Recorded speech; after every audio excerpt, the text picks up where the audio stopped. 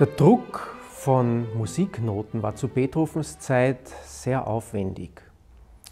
Da war zunächst einmal das Autograph, das man so eigentlich keinem Verleger übergeben konnte, denn das war ein Arbeitsmanuskript und wie wir wissen, gerade Beethoven hat ja sehr äh, schwer leserlich geschrieben. Das gilt nicht nur für seine Textniederschriften, sondern eben gerade auch für seine Musiknoten. Und da musste es natürlich eine Zwischenphase geben in Form einer Reinschrift. Natürlich, Beethoven hat es nicht notwendig gehabt, sich solchen mechanischen Arbeiten zu unterziehen. Dafür hat es eigene Kopisten gegeben, die dann auch bezahlt wurden für diese Aufgabe. Das war aber natürlich schon einmal die erste Fehlerquelle.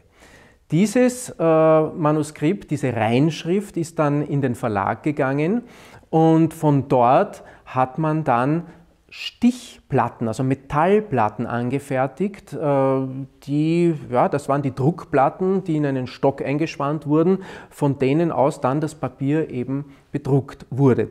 Jetzt muss man noch so sagen, äh, wenn es sich zum Beispiel um ein Werk wie eine Symphonie handelt, ja, dann hat man ja nicht die Partitur gedruckt, das war nur in wenigen Fällen damals üblich, sondern das Wesentliche war, äh, dass man eben die Stimmen, die Orchesterstimmen gedruckt hat, weil nach denen wurde gespielt. Also da ging es sehr, sehr stark um das rein Praktische. Bei Streichquartetten ist so gut wie überhaupt nie eine Partitur erschienen zum Beispiel. Also nur die reinen Stimmenausgaben. Ja? Also auch das musste erst gemacht werden, eben von einem Kopisten. So, jetzt natürlich der Stecher hat vom äh, Kopistenmanuskript äh, das abgenommen und hat hat das also in, in, in diese Metallplatten gemeißelt, wieder eine Fehlerquelle natürlich.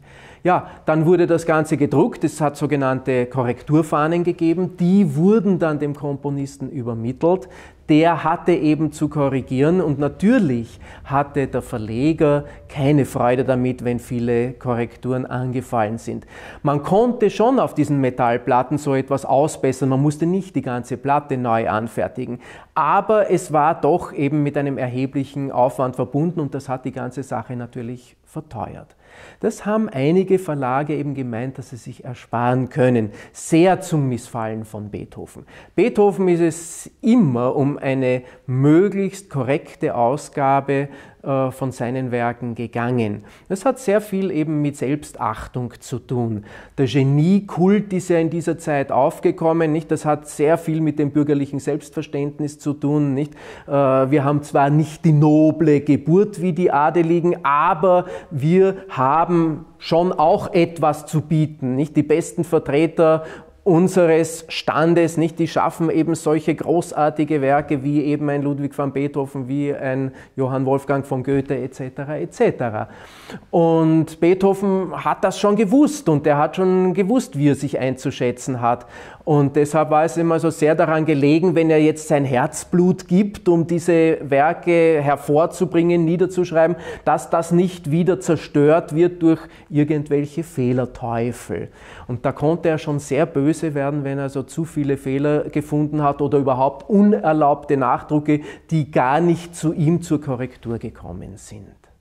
Es war nicht immer so, dass die Verleger den Wünschen Beethovens zur Gänze nachgekommen sind. Manchmal musste sich Beethoven damit begnügen, dass sogenannte Fehlerverzeichnisse erschienen sind. Das heißt, man hat also den Notentext so belassen, wie er eben war, hat dann aber Zettel beigelegt, wo gestanden ist, im Takt so und so sollte es heißen, E statt F oder was auch immer, nicht?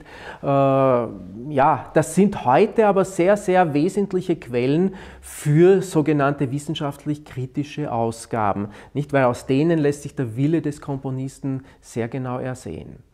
Naja, und wenn der Wille des Komponisten einmal ganz und gar missachtet wurde, dann konnte es schon dazu kommen, dass Beethoven eben auch sich in einem Zeitungsinserat an das verehrte Publikum gewandt hat, indem er dann eine Ausgabe, die ihm nicht gepasst hat, in Grund und Boden verdammt hat.